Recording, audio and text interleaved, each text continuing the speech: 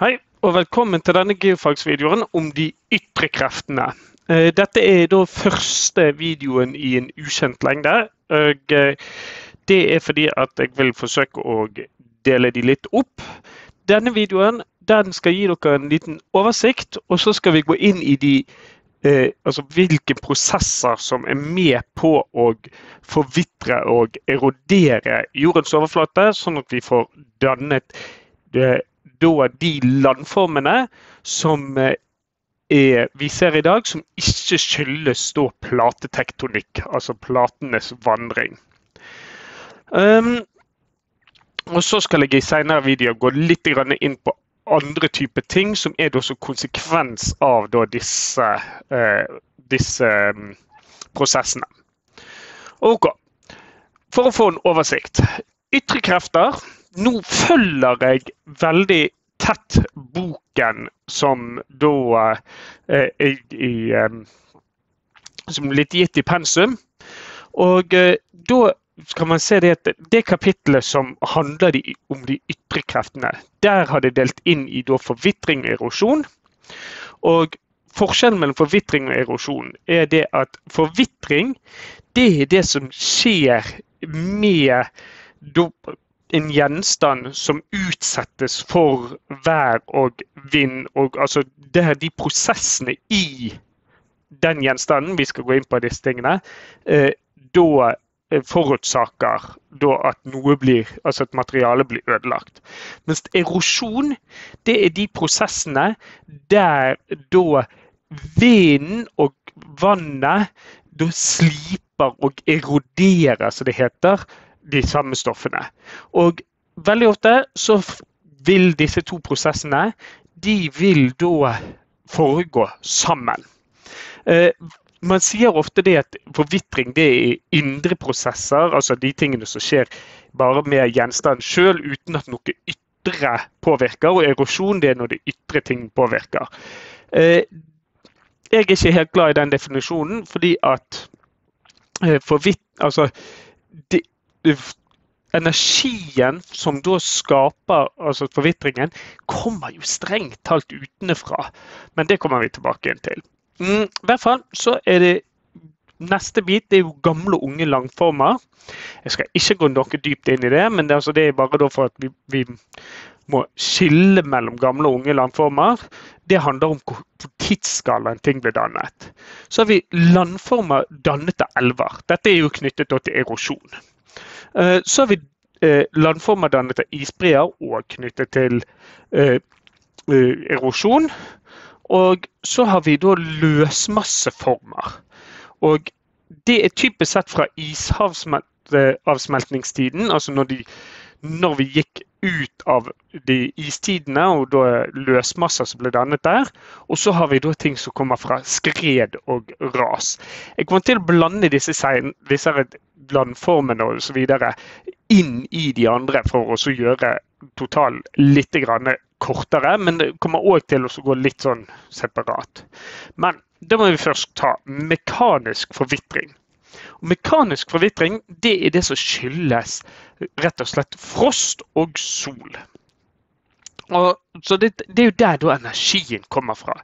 Hvis vi tar sol først, uh, så er jo da altså Dere har gjerne uh, hørt at når en gjenstand varmes opp, så utvider den seg. Dette er knyttet til uh, partikkelmodell og definisjon av temperatur osv. Um, det, altså fordi når temperaturen stiger, så beveger ting seg mer, og det tar opp mer plass. Selv om det er fast stoff, selv om det er låst sammen, så tar det litt mer plass. Det mest kjente eksempelet der, det er jo rett og slett eh, hvis vi tar eh, da eh, jernbaneskinner. Sånn, de er fem, altså Jernbaneskinner mellom Oslo og Bergen 550 km lange. Så når de varmes opp, så tar de opp mer plass. Og hvis de varmes opp for mye i forhold til beregningen, så får du slynge på eh, jernbaneskinnene. Fordi at ja, det er kanskje bare noen millimeter, mindre enn millimeter per meter, som da utvider seg. Men når det er 550 km langt, og de henger sammen, da må du ta høyde for denne her ekspansjonen. Og det er der man da kan se, f.eks. igjen med jernbanen, denne linjene, altså strømførerlinjen over, altså der har vi da kablene, der vil dere se at etter en visst antall kilometer så henger eh, går de da ned i noen vekter. og så er det liksom overlapp, så det er to skinner samtidig, så, eller to sånne ledninger samtidig. Og så vil det da henge i sånne vekter. Og de vektene det gjør det at det alltid er stramt. Og så går heises de opp og ned etter hvert som metallet utvider seg og trekker seg sammen, en sånn temperatursvingning. Og da kommer vi til mekanisk forvitring av f.eks. berg osv.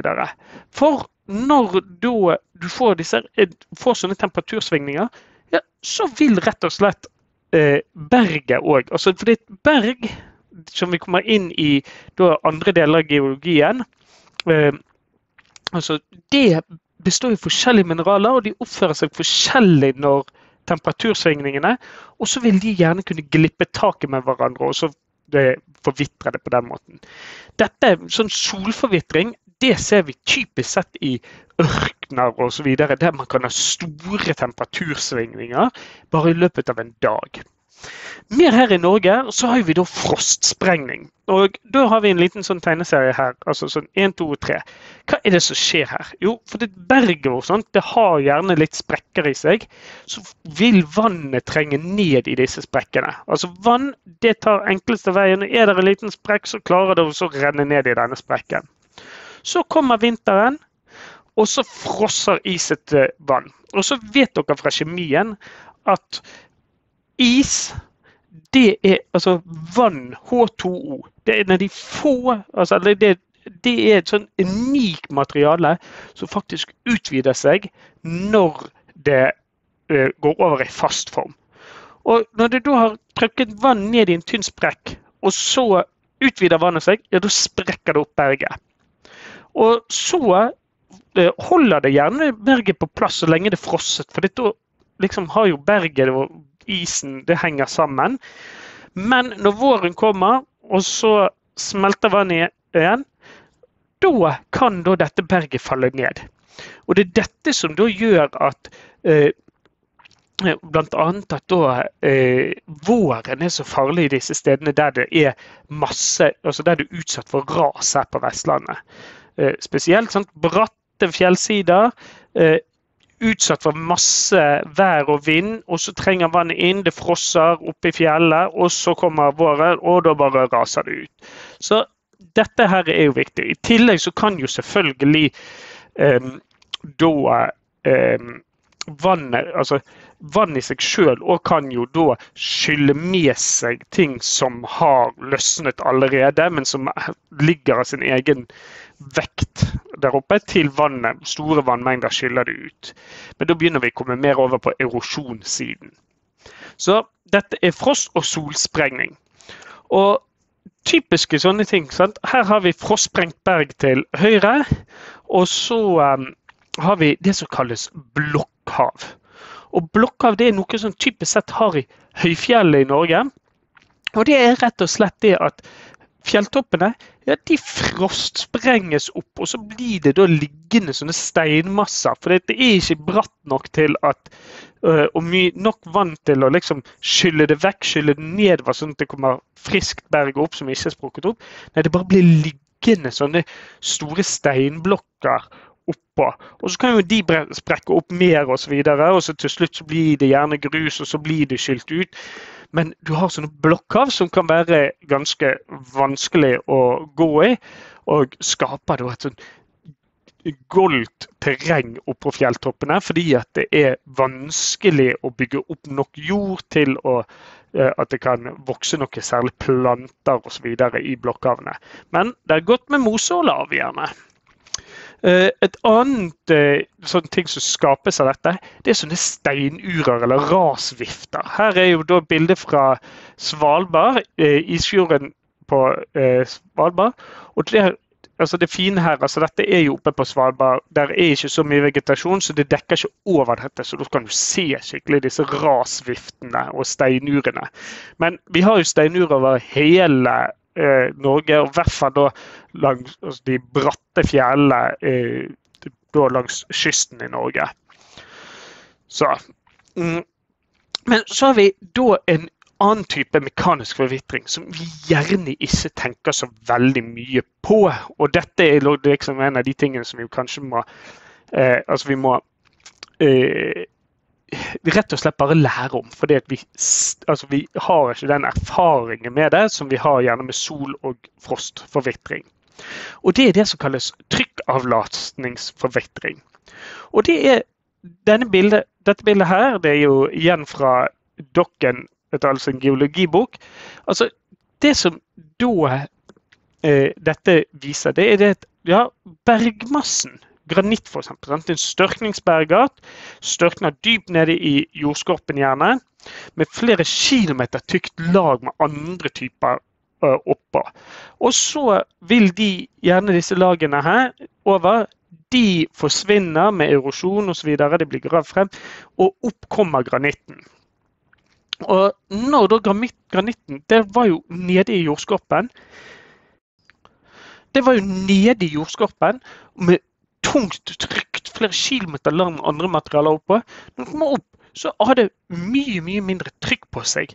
Og da kan det få plass til å utvide seg.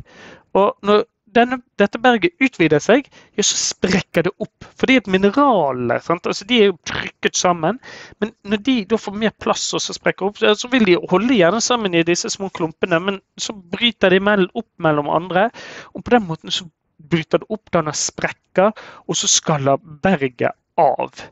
Eh, sånn at de stedene der man har da eh, relativt ny, eh, nyavdekket da bergmasse, ja, så får du en sånn avskalling og sprekkedannelse i berget. Og selvfølgelig så vil jo da eh, vann trenge ned, og vi kan få frostsprengning, det blir utsatt for sol, du får solsprengning osv. Og, så og de prosess, eroderingsprosessene som gjerne da gjorde at eh, lagene over forsvant i utgangspunktet, de fortsetter òg. Så alle disse prosessene her. altså Det er ikke sånn at nå er det bare denne prosessen som skal gå, nå er det denne prosessen som går.